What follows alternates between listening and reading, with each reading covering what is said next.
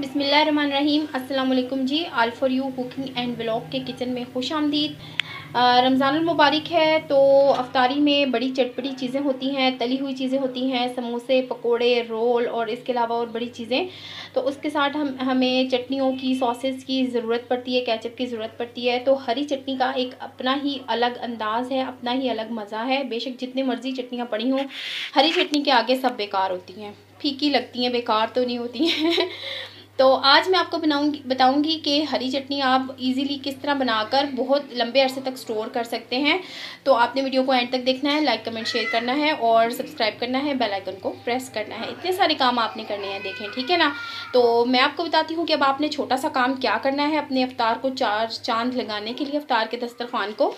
तो हम बनाते हैं हरे धनिए और पुदीने की चटनी, जो कि बहुत ही हाजमेदार है, बहुत ज़रूरी है।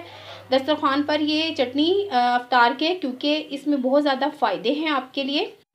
दो कप मैंने लिया है धनिया, हरा धनिया फ्रेश, इसको काट लिया है मैंने। और हरा धनिया, आपको पता है कि हरा धनिया की अफादियत क्या है? ये ब्लड प्रेशर को भी कम करता है। ये चटनी ब्लड प्रेशर वालों के भी लिए भी बहुत अच्छी है सिर्फ़ ये है कि आप इसमें नमक शामिल ना करें, ठीक है? क्योंकि इसमें लहसन भी होगा तो हमने आठ से दस जवे जो है ना, वो लहसन के भी लिए हैं छी लिए हैं। इससे जायका भी अच्छा होता है, हाजमा भी होता है और ब्लड प्रेशर भी नीचे आता है आपका।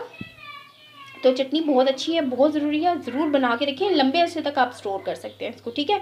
दो कप मैंने लिया है हरा धनिया, काट लिया है, एक कप मैंने लिया है पुदीना, इसको मैंने पत्ते जो हैं इसके तोड़ लिए पुदीना भी जो है तबीयत को एकदम से फ्रेश कर देता है, ग्रानी को ख़त्म कर देता है मैदे की, और ये हाजमेदार होता है बहुत ज़्यादा, और हरी मिर्चें ली हैं, हरी मिर्चें भी आपको पता है विटामिन सी का ख़जाना है हाजमेदार है तो 10 से 12 तक मैंने हरी मिर्चें ली हैं, हरी मिर्चों की क्वांटिटी आप अपनी मर्ज़ी से ले सकते हैं कि जितनी आप तेज़ मिर्चें पसंद करते हैं, आप उतनी हरी मिर्चें ले सकते हैं।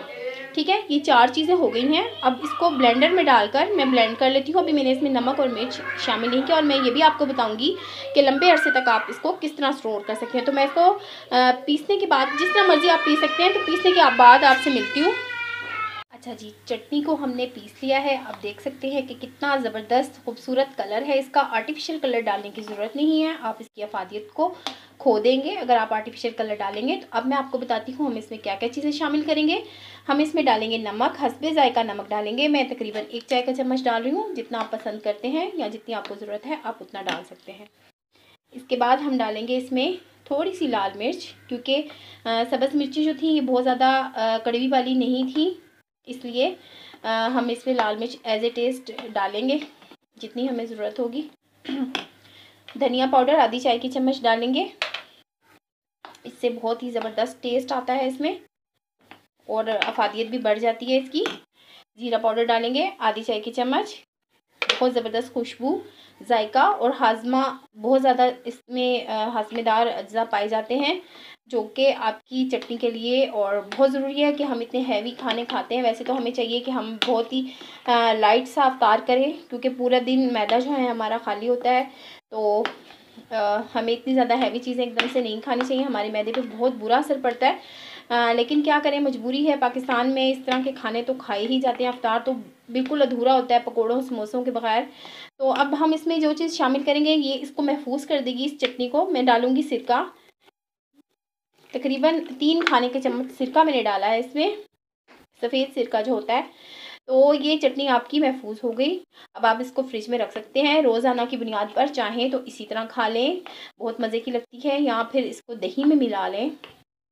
समोसों, पकौड़ों, रोल वगैरह के साथ तो ये अच्छी लगती ही है। साथ साथ ये दाल सब्ज़ी के साथ भी बहुत मज़े की लगती है। रोटी के साथ खाएँ या चावलों के साथ खाएँ, बिरयानी के साथ खाएँ, रायता बना लें, इसका बहुत ही ज़बरदस्त चटनी बनती है और हम इसको बना के रखते हैं, महफूज कर लेते हैं इसी तरह और ये चलती रहती है। जब ख़त्म होती है तो फिर और बन जाती है। मेहमान आते हैं तो उनको पता होता है हमारे घर में ये चटनी मौजूद है तो वो फरमाइश करते हैं इस चटनी की कि, लाएँ जी, वो चटनी की है? ज़रूर बनाइएगा, बहुत अच्छी लगती है, बहुत फ़ायदेमंद चटनी है तो आपने बनानी है। उसके बाद मुझे कमेंट करके आपने बताना है लाइक का बटन लाजमी दबाना है। नए आने वाले सब्सक्राइब करने के बाद बेल आइकन को भी प्रेस कर दें, ताकि जब भी मैं वीडियो अपलोड करूँ तो उसका नोटिफिकेशन आपको मिल जाए, और प्लीज़ वीडियो को एंड तक देखा करें, ताकि मेरी हौसला अफजाई हो, मेरा वाच टाइम पूरा हो जाए। तो अगली वीडियो तक के लिए इजाज़त दीजिए, अल्लाह हाफि